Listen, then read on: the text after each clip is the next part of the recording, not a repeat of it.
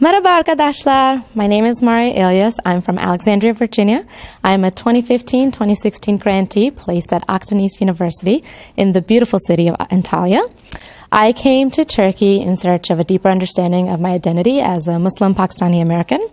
And my experience in Turkey so far has been phenomenal from my colleagues to my students, from gaining pounds from eating a lot of delicious Turkish food, um, from pushing myself to seeing new things and trying new things.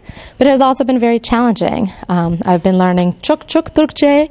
I've been trying to apply different strategies in my classroom, um, and I'm continuing to travel and see more and more of um, this beautiful country that is Turkey.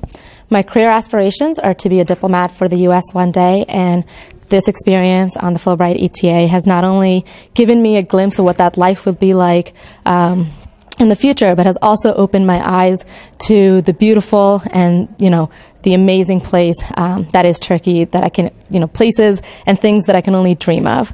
Um, I'm a strong believer of new experiences, new adventures. So if you share an adventurous outlook like me, then I encourage you to apply to ETA Turkey.